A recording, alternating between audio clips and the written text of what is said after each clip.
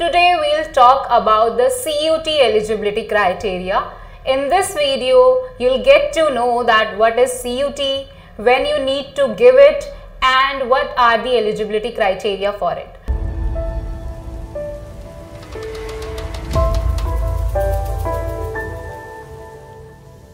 Hello everyone, I am Nikita Saraswat, career psychologist at Toppers Academy.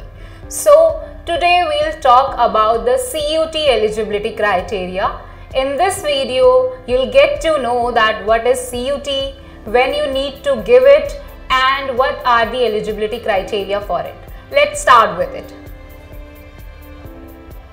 So firstly, we'll try to understand that what does CUET exactly mean.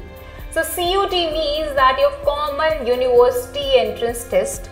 It is a pivotal entrance examination that is required when you want to enroll yourself for any undergraduate or postgraduate programs at your central, state, deemed and other CUET participating institutes. Okay. So your NTA conducts this examination in your CBT mode. NTA stands for your National Testing Agency and CBT means your computer based test, right? So let's move on to the major eligibility criteria that you require to sit for this examination. Let's start with it.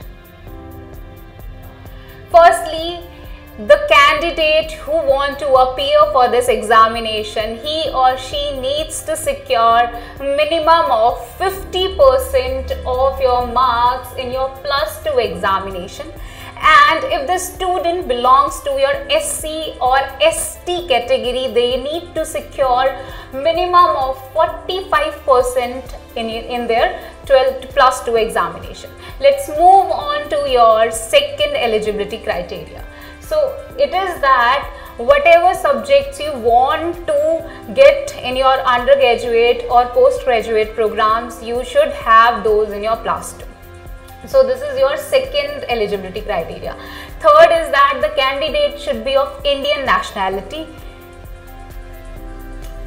Let's move on to the other eligibility criteria that we have for the CUET. So fourth is that you need to take minimum of or you need to select minimum of three participating universities. Uh, uh, under that you need to select at least three of your programs also. After that if i talk about that who can appear for this examination if you have completed your plus 2 in that case you can sit for the CUET or in case you are pursuing your plus 2 in that case also you can give the CUET examination. But the condition is that when you go for the counseling process you should have the passing certificate and the mark sheet with you.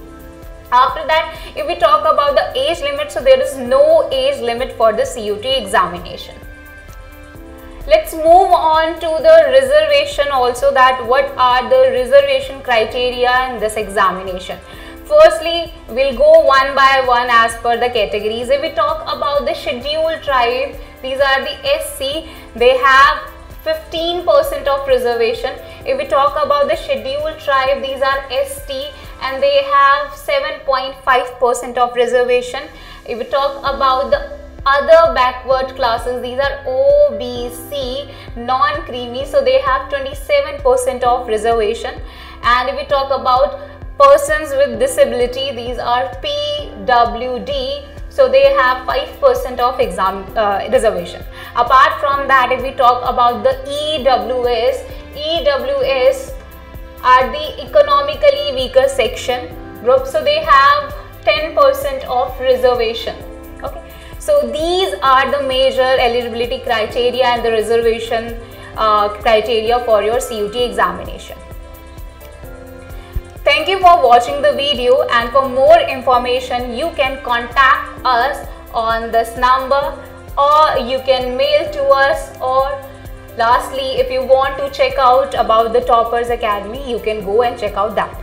One more important uh, news that I want to share with you is that that we'll soon start the CUET batches for the preparation. You can enroll yourself in that for the better guidance and to crack the examination.